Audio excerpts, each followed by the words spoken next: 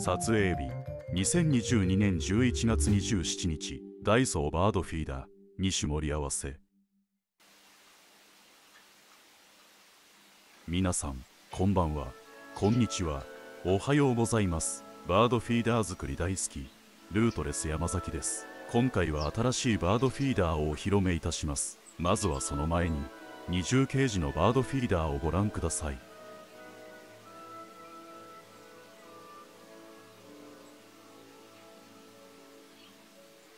二重ケージのバードフィーダーを使い始めて3日目。シジュウカラさんたちもすっかり慣れて上手に餌を持っていきます。このバードフィーダーの特徴でもある。外側にかぶせたランドリーバスケットの格子が飛んできて好きなところに泊まれるのがシジュウカラさんたちに受けているところでしょうか。自画自賛ですがシジュウカラさんたちに大好評です。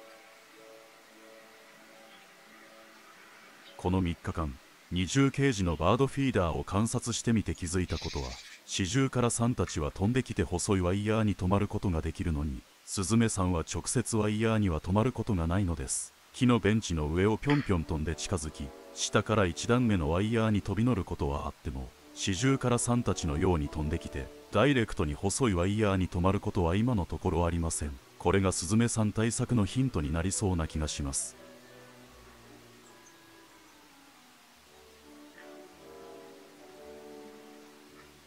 今日は道路工事もお休みなのでシジュウカラさんたちの鳴き声がよく聞こえます。この時期に聞こえてくるシジュウカラさんの鳴き声はさえずりと呼ばれるオスがメスにアピールする鳴き方ではなく地鳴きと呼ばれる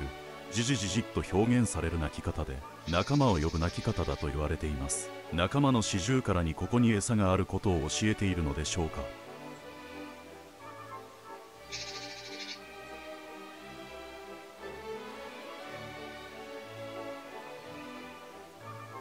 もし地泣きのじじじじっが仲間を呼ぶ声ならどんどん宣伝して仲間の四十からさんを呼んできてください。この動画には広告はつきませんが四十からさんたちには宣伝広告費としてひまわりの種をお支払いします。お友達をお誘いの上お越しください。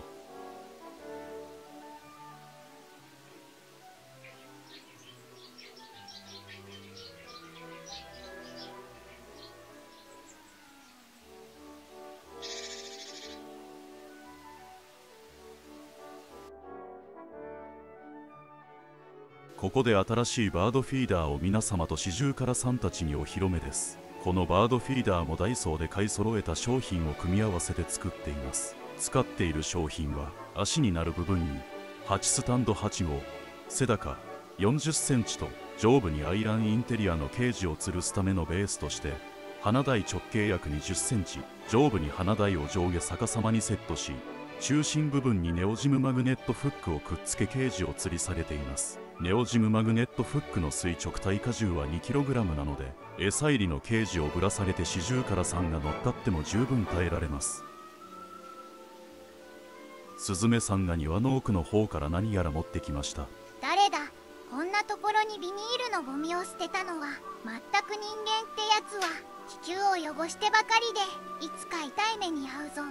後で片しておきますなかなか新しいバードフィーダーを使ってくれない四十からさん二重ケージのバードフィーダーの方が止まりやすいのか？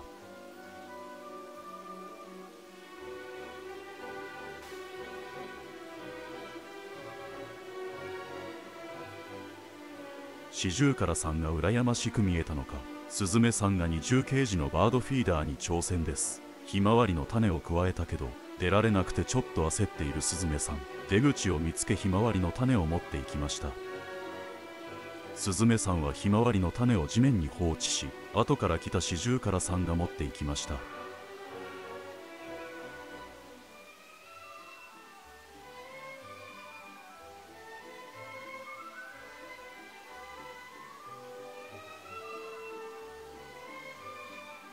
やっとここで新しいバードフィーダーを使ってくれました。二重ケージのバードフィーダーも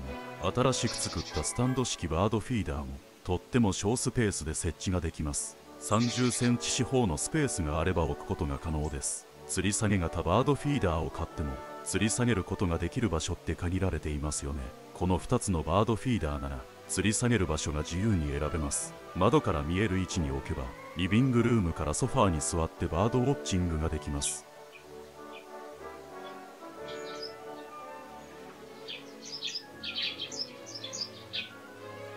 シジュウカラの鳴き方についてとても興味深い研究をされている先生がいらっしゃいます。シジュウカラや同じカラ類は鳴き方を組み合わせて会話しているそうです。鈴木と下か博士が出演されている YouTube 動画のリンクを概要欄に貼っておきますので興味のある方は一度ご覧になってみてください。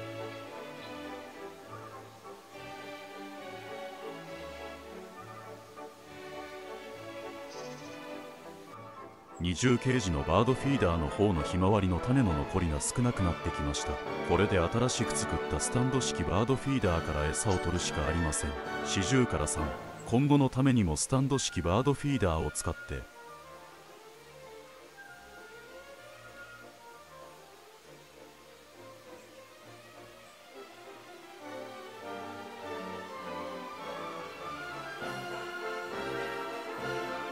バードウォッチングしている人間にとってはスタンド式バードフィーダーの方がすっきりして見やすくていいのですが四十からにとっては二重ケージのバードフィーダーの方が使いやすそうです。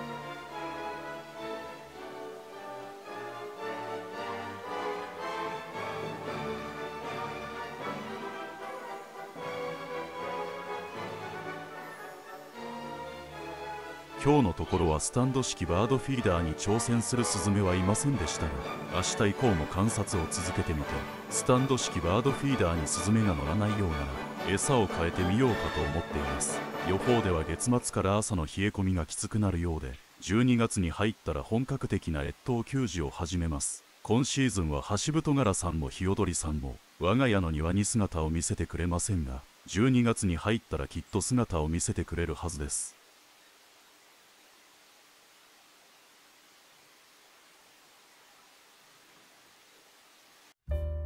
最後までご覧いただきありがとうございました。この動画が気に入っていただけましたらチャンネル登録といいねボタンをよろしくお願いします。本日のナレーションは VOICEVOX 青山流星とスズメ役のずんだもんでした。ではまた次の動画でお会いしましょう。